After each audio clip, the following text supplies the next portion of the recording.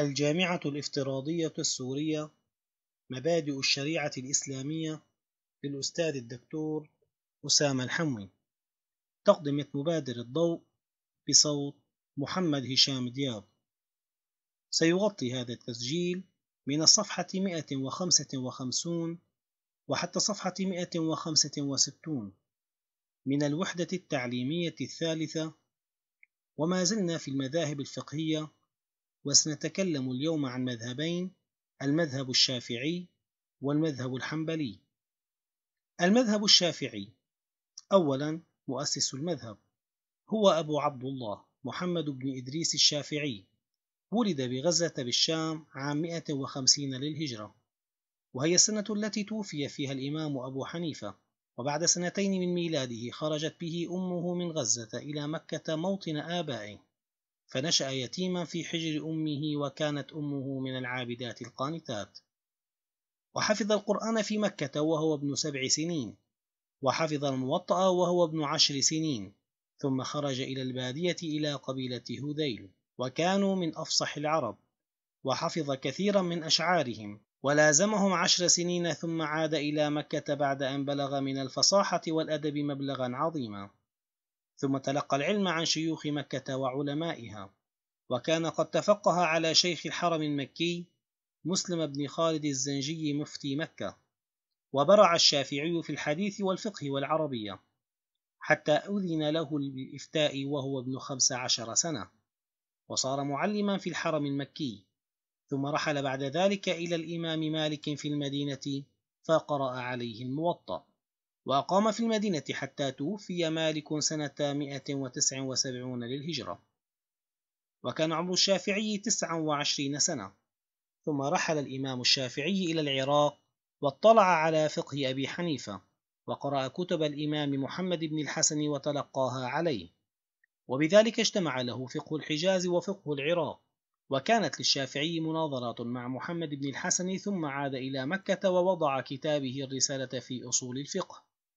ثم رحل ثانية إلى بغداد وهناك التقى به أحمد بن حنبل وأخذ عنه وتردد على مجلسه كبار العلماء وتأثروا بمذهبه.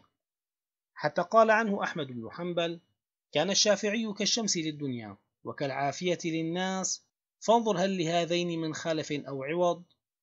حتى لقبه العلماء في عصره بإمام السنة وناصر الحديث. وكان الشافعي قد وضع كتابه الحجة في العراق الذي بين فيه مذهبه القديم. ثم عاد الشافعي إلى مكة يعلم الناس وينشر علمه ومذهبه ثم رحل من مكة إلى مصر في آخر المطاف من عمره فتغير اجتهاده بسبب اطلاعه على أحاديث وآراء فقهية جديدة ورؤيته أعرافا مغايرة لما عرفه في الحجاز والعراق. فوضع مذهبه الجديد وأملى كتابه الأم على تلاميذه. ونقله عنه تلميذه الربيع بن سليمان المرادي ثم توفي الشافعي سنة 204 للهجرة ودفن في حي القرافة في الجنوب الشرقي من القاهرة. وكتب هذا الحديث على قبة ضريحه عالم قريش يملأ طباق الأرض علما.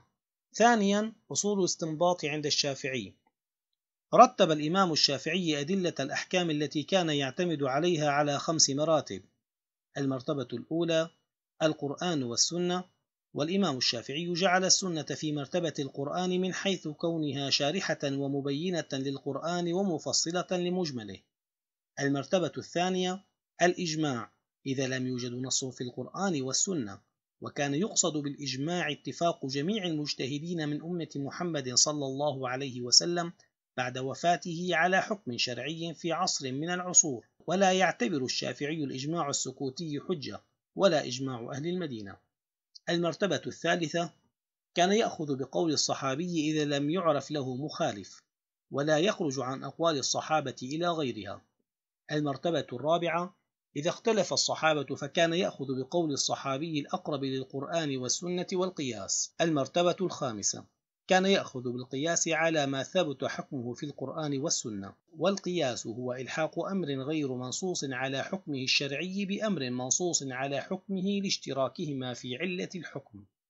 قال الشافعي في كتابه الرسالة: ولم يجعل الله لأحد بعد رسول الله أن يقول إلا من جهة علم مضى قبله، وجهة العلم بعد الكتاب والسنة والإجماع والآثار وما وضعت من القياس عليها ولا يشترط الإمام الشافعي في السنة ما اشترطه أبو حنيفة من شهرة الحديث إذا عمت به البلوى ولا غير ذلك. ولا ما اشترطه الإمام مالك من عدم مخالفة الحديث لعمل أهل المدينة وإنما يشترط الصحة والاتصال فقط. وقد أثبت الشافعي حجية خبر الواحد ودافع عنه في مواضع كثيرة من كتبه وفي مناظراته حتى لقب بناصر السنة.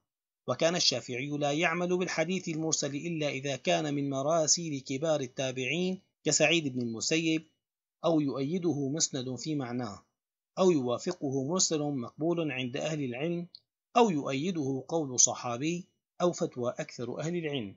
أما بالنسبة للعمل بالاستحسان الذي قال به المالكية والحنفية فقد أنكره الإمام الشافعي وقال الإستحسان تلذذ وقال من استحسن فقد شرع وقال من استحسن فقد شرع ووضع الشافعي كتابا سماه إبطال الاستحسان إلا أنه لدى استقراء فقه الشافعي وجد العلماء أن الشافعي قد عمل بالاستحسان بمعناه الذي قصده المالكية والحنفية. فقد قال الشافعي أستحسن في المتعة أن تكون ثلاثين درهما. وقال أستحسن في الشفعة ثلاثة أيام. وإنما قصد برده للاستحسان هو الاستحسان بمعناه اللغوي أي الاستحسان بالعقل المحض والتشهي بالهوى وهو لا يعمل به أحد. وقد عمل الشافعي بالعرف الصحيح الذي لا يخالف نصا أو أصلا شرعيا والعرف أحد الأصول التي بنى الشافعي عليها مذهبا كما قال الشافعي بحجية الاستصحاب وعمل به وهو الحكم بثبوت أمر أو نفيه في الزمان الحاضر أو المستقبل. بناء على ثبوته أو عدمه في الزمان الماضي لعدم قيام الدليل على تغييره. في حين لم يعمل الشافعي بسد الذرائع ولم يقل بحجيته فصحح لأجل ذلك بيوع العينة المتخذة جسرا إلى الربا وصحح نكاح التحليل وبيع العنب لعاصره خمرا وترك أمر النية والباعث الخبيث إلى الله تعالى يحاسب عليه فاعله. ثالثا أشهر تلاميذ الشافعي وأهم كتبه. كان من الطبيعي أن يكون عدد تلاميذ الشافعي كثيرين لأن مذهبه أكثر المذاهب انتشارا ولكثرة تنقله في البلاد. ولم يحظ أحد من الأئمة بمثل ما حظي به الشافعي من أصحاب ورواة وتلامذة في مكة وبغداد ومصر. ومن أشهر تلامذته في بغداد الإمام أحمد بن حنبل وإسحاق بن راهوية وأبو علي الحسن الصباح الزعفراني القارئ كان عالما باللغة وراوي كتب الشافعي القديمة. وأبو علي الحسين بن علي الكرابيسي. أجازه الشافعي بقراءة كتب الزعفراني وكان نظارا جدليا. ومن أشهر تلامذته في مصر واحد أبو يعقوب يوسف بن يحيى البويطي الذي استخلفه الشافعي في حلقته. توفي عام 231 للهجرة وقال عنه الشافعي ليس أحد أحق بمجلسي من يوسف بن يحيى وليس أحد من أصحابي أعلم منه. اثنان إسماعيل بن يحيى المزني أبو إبراهيم كان فقيها جدليا قوي الحجة. له في المذهب الشافعي كتب كثيرة منها المختصر الكبير والمختصر الصغير والترغيب في العلم. قال عنه الشافعي المزني ناصر مذهبي. كانت وفاته في سنة 264 للهجرة. ثلاثة الربيع بن سليمان المرادي. المؤذن في جامع الفسطاط. راوي كتب الشافعي وصاحبه طويلا وعن طريقه وصل إلينا كتاب الرسالة والأم وغيرهما من كتب الشافعي. وكانت تقدم روايته عن الإمام على رواية المزني إن تعارضا لشدة الثقة بما يرويه عن إمامه. توفي سنة 270 للهجرة. أربعة والربيع بن سليمان بن داود الجيزي كان فقيها صالحا لكنه لم يروي عن الشافعي كتبا. قال النووي أعلم أن الربيع حيث أطلق في كتب المذهب فالمراد به المرادي. وإن أرادوا الجيزي قيدوه بالجيزي. ويقال للمرادي راوية الشافعي. توفي سنة 256 للهجرة. خمسة إبراهيم بن خالد الكلبي. نقل مذهب الشافعي القديم في العراق وله بعض الآراء المستقلة والتي خالف فيها جمهور الفقهاء كتقديمه الوصية على الدين في توزيع التركة. توفي سنة 246 للهجرة. 6. حرملة بن يحيى بن حرملة. روى عن الشافعي ما لم يروه الربيع مثل كتاب الشروط وكتاب السنن. توفي سنة 266 للهجرة. وأهم كتب الشافعي. واحد. الرسالة في أصول الفقه. اثنان الأم ويشمل أبواب الفقه كلها وضمنه الشافعي مذهبه الجديد. ثلاثة جماع العلم وهو انتصار للسنة والعمل بها. أربعة إبطال الاستحسان الذي رد فيه على فقهاء الحنفية عملهم بالاستحسان. خمسة اختلاف مالك والشافعي فيما يتعلق بالسنة. ستة الرد على محمد بن الحسن. المذهب الحنبلي أولا مؤسس المذهب هو أحمد بن حنبل رحمه الله تعالى. ولد في مدينة بغداد سنة 164 للهجرة. نشأ الإمام أحمد في بغداد نشأته الأولى حيث كانت مدينة العلم وكانت تزخر بالعلماء وبجميع أنواع المعارف والعلوم لأنها كانت عاصمة الخلافة آنذاك. وقد توجه منذ نشأته وهو صغير إلى العلم فحفظ القرآن وظهرت عليه علامات الذكاء والاستقامة والورع في الدين واشتهر بالصبر والجد والدأب في العمل واحتمال المكاره. فظهرت عليه علامات الرجال وهو في سن الصبا لكونه تربى يتيما معتمدا على نفسه. وقد لفت نظر العلماء ما يحمله من صفات جليلة حتى قال فيه الهيثم بن جميل إن عاش هذا الفتى فسيكون حجة على أهل زمانه وقد اتجه الإمام أحمد إلى العلم بكليته واختار مسلك أهل الحديث. وكان أول من كتب عنه الحديث أبو يوسف صاحب أبي حنيفة واطلع الإمام أحمد على فقه مدرسة الرأي في العراق ومسلكهم في الاعتماد على الاجتهاد والفتوى والقضاء.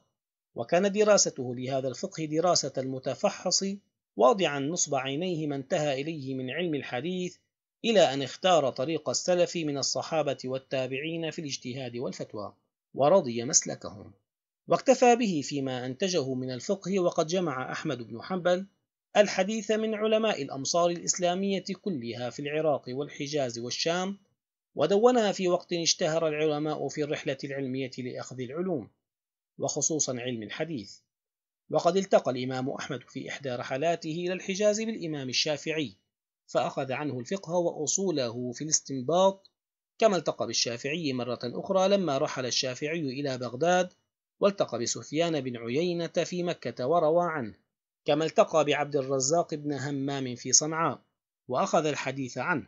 وقد استمر أحمد في طلب الحديث من الأقاليم الإسلامية حتى بلغ مرتبة الإمامة في هذا العلم. وقد اعتمد أحمد بن حنبل في طلبه للحديث والعلم على التدوين ولم يكتف بالحفظ.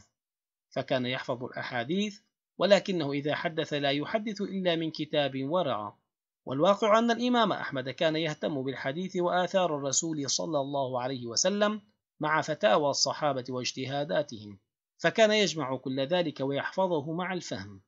وكان أحمد يمتاز بصفة الإخلاص وينفر من الشهرة ويتجنب الرياء. قال عنه يحيى بن معين ما رأيت مثل أحمد بن حنبل صحبته خمسين سنة ما افتخر علينا بشيء مما كان فيه من الصلاح والخير. وكان أحمد متبعا للرسول صلى الله عليه وسلم وصحابته الكرام في استنباط الأحكام. وكان حريصا على أن لا يخرج عن سنة الرسول صلى الله عليه وسلم. فكان يقول من رد حديث رسول الله صلى الله عليه وسلم فهو على شفا هلكة. وإذا لم يجد في المسألة المعروضة عليه حديثا ولا قولا أو أثرا للصحابة اجتهد في حكم المسألة. ولكنه لم يكن يخرج من منهاج من سبقه من السلف. وجلس أحمد بعد ذلك للتحديث والفتيا وكان ذلك لما بلغ أربعين سنة. وقد امتنع الإمام أحمد عن الجلوس للتحديث والفتيا قبل هذا السن. ولعل السبب في ذلك اتباعه للرسول صلى الله عليه وسلم في كل شيء. والنبي صلى الله عليه وسلم قد بعث في الأربعين وبلغ رسالة ربه بعد هذا السن. وهكذا أصبح الإمام أحمد إماما في السنة وإماما في العلم والفقه وإماما في الزهد والصبر على البلاء بعدما امتحن في قضية خلق القرآن.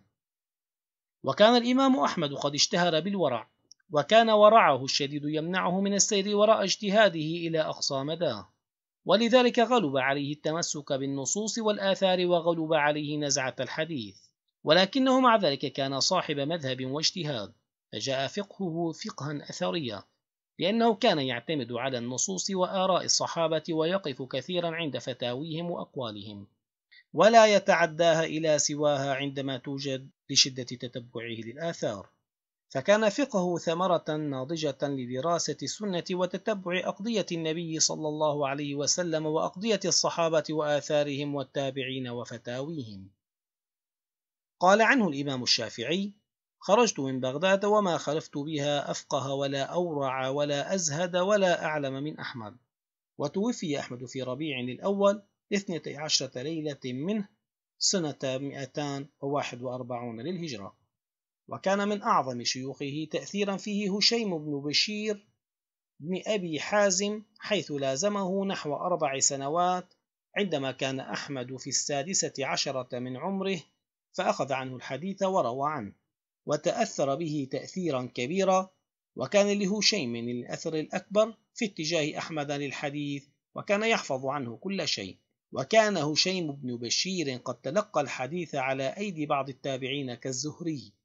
وكان على دراية وعلم بآثار بعض كبار فقهاء الصحابة كابن عباس وابن عمر رضي الله عنهما. وكانت قد آلت إليه حلقة التدريس في بغداد. وقد أخذ أحمد الفقه عن الإمام الشافعي بعد وفاة شيخه هشيم حيث التقى به في أثناء حجة إلى بيت الله الحرام فأعجب به أشد الإعجاب وقد قال أحمد لصحبه إن فاتنا علم هذا الرجل فلن نعوضه إلى يوم القيامة وكان إعجابه بعقل الشافعي الفقهي وبطريقته في استنباط الأحكام والأصول التي كان يتبعها في ذلك. ويعد الإمام الشافعي الرجل الثاني الذي كان له عميق الأثر في شخصية أحمد العلمية. وخصوصا من الناحية الفقهية وأصول استنباط الأحكام حيث كان يعد الشافعي الموجه الثاني لأحمد بن حنبل حيث وجهه إلى أصول الاستنباط والمقاييس. وقد أخذ أحمد الحديث أول ما أخذه على يد أبي يوسف صاحب أبي حنيفة وسمع أحمد في اليمن من عبد الرزاق بن همام وأخذ عنه وروى عنه أيضا كما درس على عبد الله بن المبارك. ولقد كان لرحلاته العلمية كبير الأثر في تكوين شخصيته العلمية وإنضاجها من خلال الذين التقى بهم من الشيوخ حيث أخذ عنهم الكثير من السنن والآثار فكان لذلك الفضل العظيم الذي أوصل أحمد إلى هذا القدر من العلم. وكتابه المسند في الحديث مشهور ويدل على سعة اطلاعه بالحديث. ثانيا أصول المذهب الحنبلي في الاستنباط. ذكر ابن القيم الأصول التي بنى الإمام أحمد مذهبه وفتاويه عليها وهي خمسة. أولها النصوص. فإذا وجد النصوص أفتى بموجبها وهذا بالاتفاق بين المجتهدين. الأصل الثاني فتاوى الصحابة فيما لا خلاف فيه بينهم. الأصل الثاني فتاوى الصحابة فيما لا خلاف فيه بينهم. يقضي به ويفتي بموجبه إذا لم يجد نصا. الأصل الثالث إذا اختلف الصحابة فإنه كان يتخير من فتاويهم أو أقوالهم ما كان أقربها إلى القرآن والسنة ولكنه لا يخرج عن فتاويهم وأقوالهم. فإن لم يوافق أحد أقوال الصحابة فإنه كان يروي الخلاف دون ترجيح. الأصل الرابع الأخذ بالحديث المرسل والضعيف إذا لم يوجد في الباب شيء يدفعه وكان يقدمه على القياس. وليس المراد بالضعيف عنده الحديث الباطل ولا المنكر ولا ما في روايته متهم. والسنة عند الإمام أحمد تشمل الحديث المتواتر والصحيح وفتوى الصحابي والمرسل والحديث الضعيف. الأصل الخامس القياس. حيث كان يلجأ إليه للضرورة عند عدم وجود نص في المسألة ولا قول للصحابة ولا أثر مرسل أو ضعيف. فأصول الاستنباط عند أحمد رحمه الله هي الكتاب والسنة وفتوى الصحابي والقياس وقد أضاف العلماء بالاستقراء إلى هذه الأصول عند أحمد الاستصحاب والمصالح المرسلة وسد الذرائع. والأصل الشرعي الذي يأخذ به أحمد هو إبقاء المعاملات على أصل الإباحة والعفو ما لم يرد دليل من الشارع على عكس ذلك.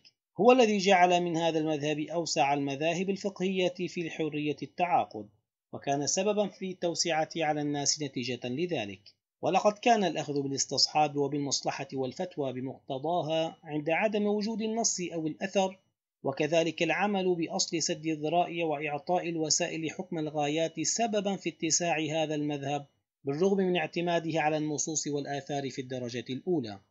والإمام أحمد يعتبر السنة في مرتبة القرآن لكونها شارحة ومبينة ومفصلة له ويرى عدم وجود تعارض بين ظاهر القرآن والسنة. إذ السنة مبينة وشارحة للقرآن وهي الحاكم والمفسر لما استدل عليه من الأحكام. وقد أخذ العلماء بأحاديث الآحاد في العمل دون الاعتقاد ولكن الإمام أحمد خالفهم في ذلك فكان يقبل أحاديث الآحاد في الاعتقاد ولا يقتصر في الأخذ بها على العمل ولعل ذلك راجع لفرط ورعه وتمسكه بالسنة فكان لذلك يؤمن بكل ما جاءت به كما يؤمن بما جاء في القرآن فلم يفرق في الأخذ بالسنة بين الاعتقاد والعمل.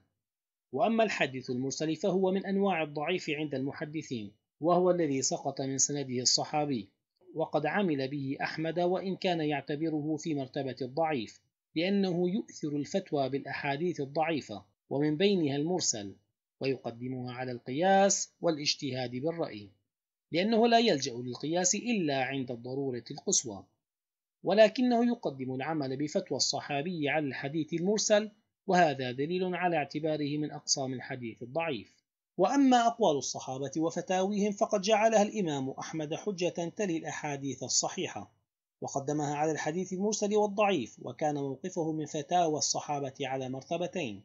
المرتبة الأولى يأخذ بقول الصحابة إذا لم يعرف خلافا بينهم أو إذا وجد فتوى لأحدهم ولم يوجد قول آخر ولا يسمي ذلك إجماعا.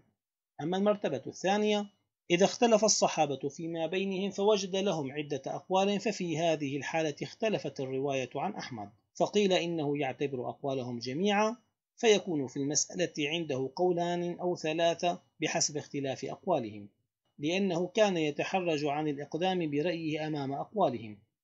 وقيل إنه كان يتخير من أقوالهم ما يجده أقرب إلى الكتاب والسنة ولكن لا يخرج عن أقوالهم فإن لم يأخذ منها بقول روى الخلاف عنهم ولم يرجح بعضها.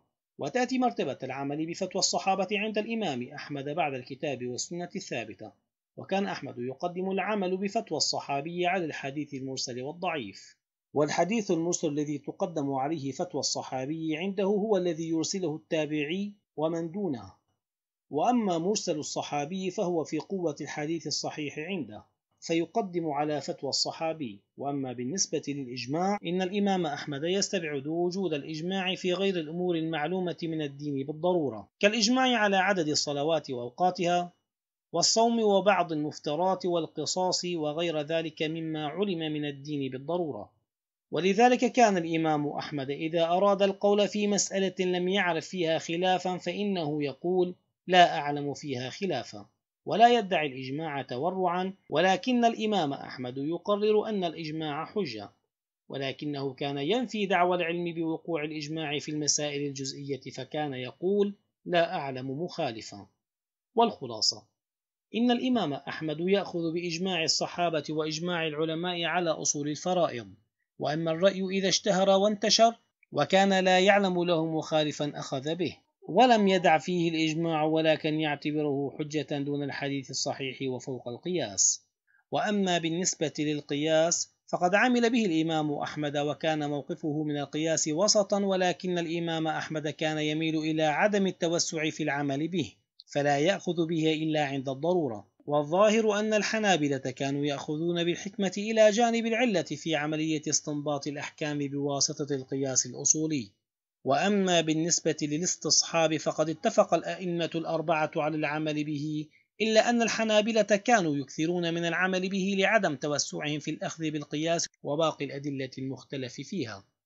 وقد قرر علماء الأصول بأن أحمد بن حنبل وفقهاء الحنابلة يعتبرون المصالح أصلا من أصول الاستنباط وإن لم يذكره ابن القيم في أصول الاستنباط عند أحمد لأنه يرى دخوله في باب القياس. ثالثا تلامذة الإمام أحمد. أشهر تلامذة الإمام أحمد الذين رووا أو نقلوا المذهب أو دونوه والذين تأثروا به كثيرا. واحد صالح بن أحمد بن حنبل هو أكبر أولاده وقد اعتنى أحمد بتربيته وتعليمه فأخذ صالح الفقه والحديث على والده أحمد وعن غيره وقد نقل إلى الناس علم أبيه فقها وحديثا. حتى نسب إليه رواية الفقه الحنبلي. وقد كان توليه منصب الفقهاء عاملا في تطبيق فقه أبيه ونشره. توفي صالح سنة 366 للهجرة. اثنان عبد الله بن أحمد بن حنبل. ولد سنة 213 للهجرة. وقد اعتنى بعلم الحديث وروى عن أبيه وعن غيره وكان يذاكر في الحديث أباه وهو الذي روى المسند وتممه عن أبيه وزاد فيه ما رأى من زيادة وتوفي عبد الله سنة 290 للهجرة. ثلاثة أحمد بن محمد نهانئ أبو بكر الأثرم. هو من أصحاب أحمد وتلاميذه. أخذ عنه علوم الحديث والآثار وقد كان أخذ علوم الفقه قبل صحبته وكان مشهورا بالورع وقد روى عنه في الفقه وفي الحديث الكثير. وكان مما روى عنه في مسائل الفقه أن المضمضة والإستنشاق ركنان في الوضوء. وجواز المسح على العمامة. توفي الأثرم سنة 260 للهجرة. أربعة أحمد بن محمد بن الحجاج أبو بكر المروذي. كان من خواص تلاميذ أحمد وهو الذي غسله لما مات وهو الذي روى كتاب الورع لأحمد. كان رجلا موثوقا عنده وقد عرف بالورع كشيخه وقد روى عنه مسائل كثيرة في الفقه. كما روى عنه الحديث توفي سنة 275 للهجرة. خمسة إبراهيم بن إسحاق الحربي. كان زاهدا وعالما وصنف كتبا كثيرة. منها دلائل النبوة وغريب الحديث وسجود القرآن وكتاب الحمام والمناسك وغير ذلك. لزم أحمد وصاحبه عشرين سنة فأخذ عنه وروى الحديث والفقه. وكان أشبه أصحاب أحمد به ورعا وزهدا. وكان عالما في اللغة. توفي سنة 285 للهجرة. ستة أحمد بن محمد بن هارون أبو بكر الخلال. يعود الفضل إليه في جمع فقه أحمد بن حنبل وحفظه ونشره. فقد روى أبو بكر فتاوى أحمد بن حنبل وحفظه ونشره. فقد روى أبو بكر فتاوى أحمد وأحاديثه وفقهه وجمعها وصنف فيها وعمل على نشرها وتدريسها. وقد اتفق العلماء على أن أبا بكر الخلال هو الذي جمع أشتات المسائل الفقهية المروية عن أحمد وكتبها ومن كتبه الجامع الكبير وهو الذي نقل به الفقه الحنبلي وقد توفي سنة 311 للهجرة. وكان أبو القاسم الخرقي أحد الأئمة المذاهب الحنبلي ممن له الفضل في تلخيص ما جمعه أبو بكر الخلال والزيادة عليه في بعض الأحيان. وكتابه مختصر الخرقي من أشهر الكتب في الفقه الحنبلي. نقل فيه خلاصة ما جمعه الخلال وشرحه موفق الدين المقدسي وسمي شرحه كتاب المغني ويعد من أهم كتب المذهب الحنبلي والفقه المقارن العظيم والمعتمد لدى العلماء. تم الانتهاء من التسجيل حتى الصفحة 165